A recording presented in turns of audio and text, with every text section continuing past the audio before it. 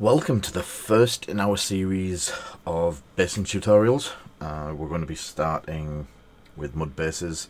We're going to be doing it fast, easy, get your stuff on the table. Um, so mud bases to start with today. There is links to the products below uh, once we get the videos up. Um, today's products we are using, we are using Vallejo Earth Texture, round about the 10 pounder tub mark. Uh, Citadel's Agrax, uh, about 4 or 5 quid. And Gamer's Grass, um, Burn Tufts. Uh, it's to get there's a couple of versions of these that you can use. When I come to put them on, I'll uh, I'll explain the different the, the couple of types. Uh, I'm just preferring these ones at the moment for like a a mud burnt wasteland. So I always start with a, a base that has been uh, primed. So when I'm doing them like this, I put them on a big sheet of uh, masking tape that we use for the vinyl cutters. Spray them all, then I can attach the figure. Um, if you're painting it and then doing the basing uh, in that sort of technique, so you're putting the basing on, the primer comes when you prime the model. But if you're doing them separate and then attaching the model afterwards, prime the base. Uh, the first thing we use is earth texture, which does look like peanut butter, but do not eat it. Uh, if you're doing small in between legs of figures, then I use the GW spatulas. Really good tool. If not, I'm just using a metal rule. And a rule of thumb, I get just about just a bit bigger than a like a pea size. Put it on the base, and then just spread it towards the edges. If it starts pulling thin, then pull some more from the middle. Uh, but that should be enough to do the base. You don't need to layer it on really thick unless you want to build layers. And even with building layers up, I would tend to do like a second coat to get a, a second layer. So once it's all down, if you just pat it randomly, it gives you like peaks and troughs they, some of them will settle down once it dries. So that is the basics of this the mud. So once uh, that dries, like that, there's going to be a lot of that.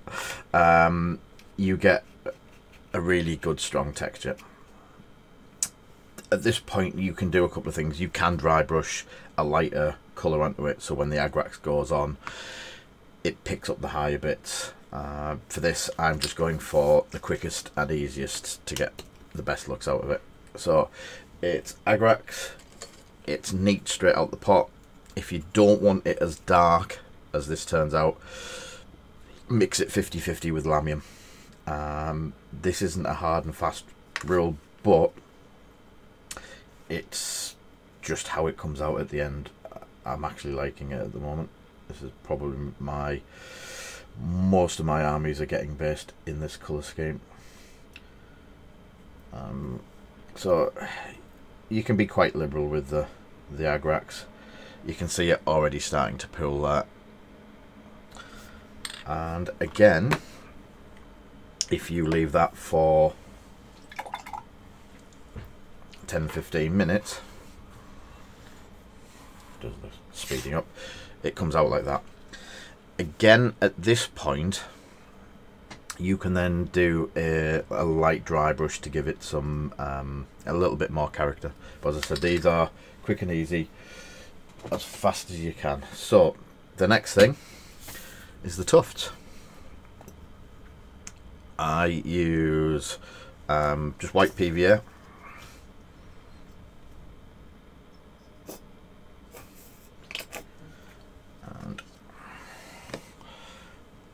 pair of tweezers and depending on where the legs are going, you can. The Gamer's Grass tufts are self-adhesive.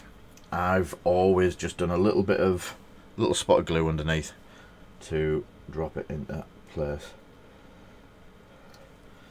Um, so no more than two or three. Gamer's Grass do a various different types. They do the round tufts or they do um, the wild tuft so you can get different ones. So once that's done that's where you end up. And then for the final bit if it needs it you just go around the rim in uh, black paint just to give it that final the wash might have um, dribbled off. You might have caught it like I have there. Little catch with the uh, the brown earth when I was doing it from when it was based. So it's just a quick you can water it down a bit not that much. And it's just to basically frame the miniature base again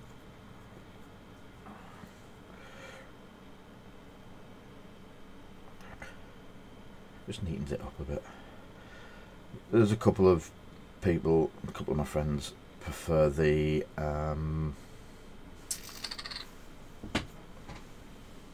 Steel Legion drab version of doing the uh, edges of the bases. I've always just gone for black.